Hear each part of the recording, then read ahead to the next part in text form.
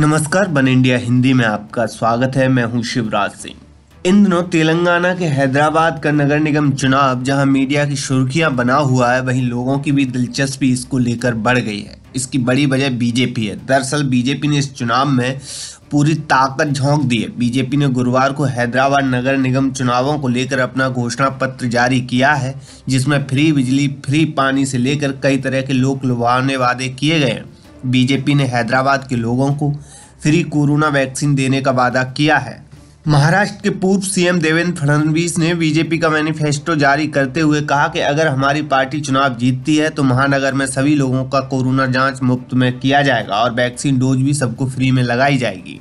BJP ने अपने घोषणा पत्र में हैदराबाद की जनता से सात वादे किए। इनमें हैदराबाद में सभी को कोरोना वैक्सीन फ्री में दी जाएगी, हैदराबाद से अतिक्रमण हटाया जाएगा इसके साथ ही किसी का नुकसान भी नहीं होगा। हैदराबाद के बाढ़ पीड़ितों को पच्चीस हज़ार रुपये का मुआवजा दिया जाएगा। एक लाख लोगों को आवास योजना के तहत घर दिया जाएगा। मेट्रो, बस में महिलाओं को निःशुल्क आने जाने की सुविधा मिलेगी। स्कूली बच्चों को टैब फ्री मिलेंगे। सरकारी स्कूल में वाईफाई लगाया जाएगा। सत्रह सितंबर को तेलंगाना मुक्ति दिवस के रूप में मनाया जाएगा।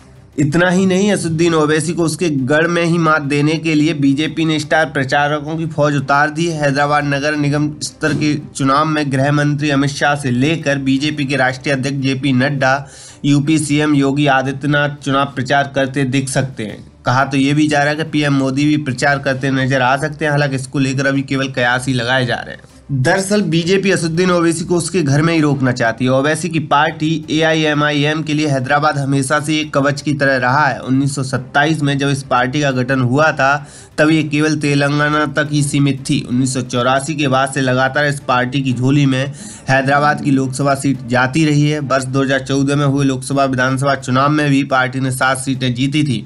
इसके अलावा इसी दौरान पहली बार ये पार्टी राज्य के बाहर महाराष्ट्र में विधानसभा की दो सीटें जीतने में कामयाब रही थी। हाल ही में हुए बिहार विधानसभा चुनाव में भी पार्टी ने पाँच सीटें हासिल की हैं। अब उसकी निगाह पश्चिम बंगाल के विधानसभा चुनाव पर लगी हुई है, जहाँ बीजेपी ने पूरी ताकत झोंक रखी है। इस खबर में फ़िलहाल इतना ही। तमाम अपडेट के लिए बने रही बन इंडिया हिंदी के साथ।